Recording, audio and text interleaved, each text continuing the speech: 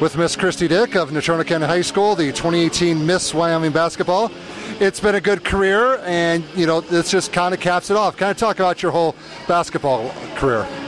Um, yeah, so I guess I started when I was in third grade. Growing up, played with Maddie, Jamia, Hallie, uh, Katie Mayhew, all of them. Um, that was the first time I ever played basketball. Just started playing three on three. Kind of fell in love with the game, uh, and then it just kind of became, you know, this thing that was just so fun, and it just kind of became my love. And then going into high school, I kind of had a bit of a hard time my freshman and sophomore year. Just um, things didn't go my way, and I had a hard time adjusting to high school ball. But um, Coach Deal was an awesome coach and did great things for me as a player. And then coming into my junior and senior year, I kind of found my niche and kind of found my place within the program and within the state. And I think I really proved to a lot of people. Um, you know, who I could be and what I was that maybe just necessarily didn't think I could be that. And uh, yeah, that, this was a really great cap, and it's really fun to be playing with all these girls here. It's a great time.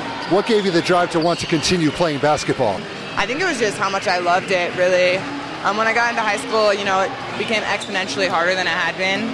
But I think my love for the game was what made me work hard and you know, I loved being I loved being that tough kid that kind of my parents had raised me to be. Uh, you know, I, I, I grew up playing with the boys kind of, and you know that kind of made me tough, and I loved being that tough girl on the court. Kind of, you know, I could be this completely other person on the court, this tough, like not afraid of anything girl on the court, and that's not necessarily who I was outside of basketball. So basketball just gave me a different outlet to be myself, and I also really, you know, loved it, and I loved the people that I got to spend my time with when I was in the sport. So.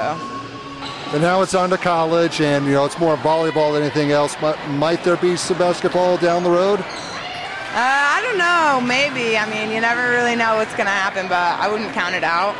It could happen. uh, not that I'm saying one sport is bad over the other or anything like that, but uh, why do why do we choose volleyball over basketball? Um, I think it was just kind of the way the chips fell and the school and the offers that I got um, just volleyball presented itself to be the best opportunity for me, and I fell in love with the school and the coaches and the program, and so that's really where I could see myself being. And you know, I had to think about four more years. What do I want to do for four more years? Continue next year into volleyball. I just love it, and I think the school is a really good fit for me, and I'm really excited to just keep competing. And I don't think I could I couldn't stop like just competing. It's been my life for so long that I want to, you know, continue for four more years.